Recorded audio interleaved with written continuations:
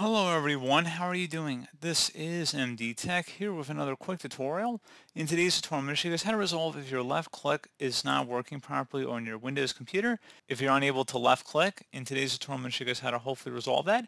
And without further ado, let's go ahead and jump right into it. So you may have to just tap the Windows key on your keyboard and you want to type in mouse settings. Best match to say system settings here. You can hit enter or you use your arrow keys on your keyboard to navigate over to mouse settings like you see here. Go ahead and hit enter. So you should see primary mouse button up at the top. If you go ahead and try right clicking on it, so let's just say my first suspicion here is, is you accidentally swapped your primary mouse button. So go ahead and try and left click on that or right click on that and then switch it to the correct position. So left is typically the primary mouse button. So that's the first thing I recommend trying there. If you're unsuccessful with that, something else we can try here as well. Let's just say you're only able to right click. So something else you can try if you go open up the start menu again and you type in CMD, best result should go back with command prompt. Go ahead and select run as administrator. So if you need to right click or left click on that, whatever's working and select yes. And now I'm going to have a few commands in the description of my video, so if you just want to highlight over each one one at a time, and just do Control C on your keyboard to copy, and then paste it into the top bar of the command prompt window here by right-clicking on it. Select Edit, and then select Paste. Hit Enter. Again, there's going to be a few commands in the description of my video, guys. I want you to run one at a time.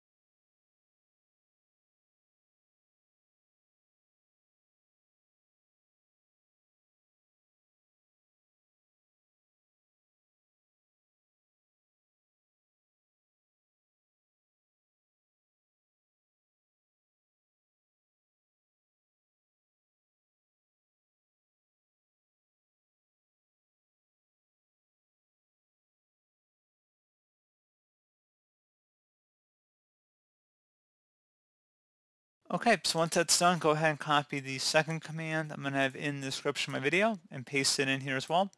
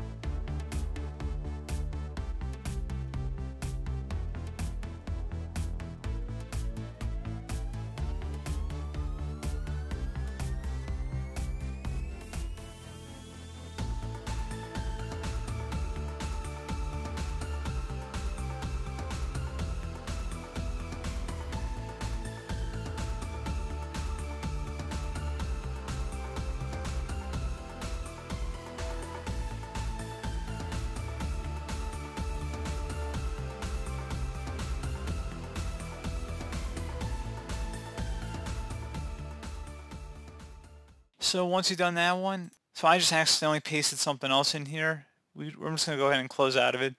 And that's about it. So go ahead and restart your computer now.